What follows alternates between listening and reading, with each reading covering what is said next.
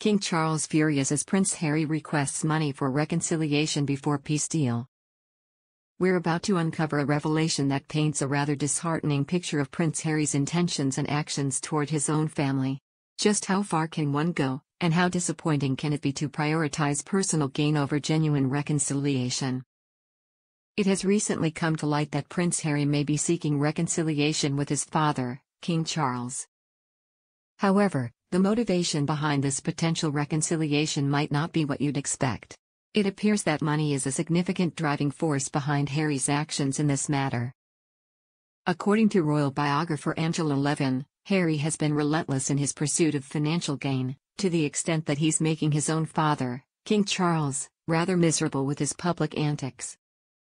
When Harry and Meghan Markle stepped away from the royal family in 2020, Queen Elizabeth made it clear that if Harry wasn't going to be a working royal, he couldn't have one foot in and one foot out.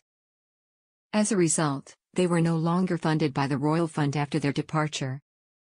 But here's the truly shocking part Harry's behavior since then has shown a complete lack of respect for his own family. He's been nagging his father for years, demanding apologies and requesting money. This doesn't appear to be the actions of a loving son seeking healing. Angela Levin rightly labels Harry as phony because his actions don't align with the values of a genuine family. If he treats his own family so poorly, it raises questions about whether he truly understands what a real family is all about. It's disheartening to hear that Harry has been using his family as a means to an end, making their lives miserable with his constant demands. It seems that his focus isn't on rebuilding relationships, it's on extracting more money and resources. Even King Charles, who undoubtedly loves his son, is reportedly hesitant to reconnect with Harry and Meghan until he witnesses positive changes on their part. The question we must now ask is whether Harry and Meghan are genuinely willing to change their ways or if their pursuit of wealth will continue to take precedence.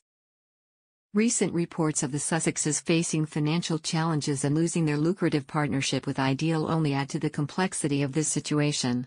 It's evident that maintaining their lavish lifestyle is a top priority, but at what cost?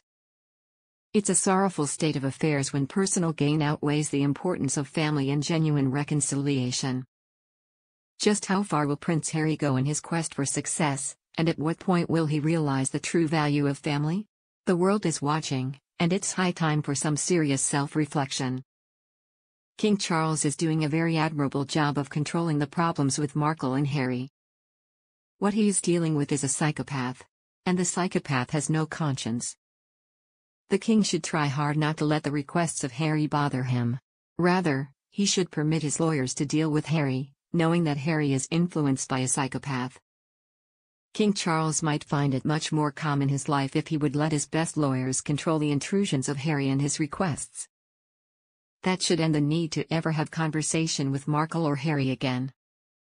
King Charles is very, very good with the management of money. British government has been so helpful in keeping other things in order regarding Harry and Markle.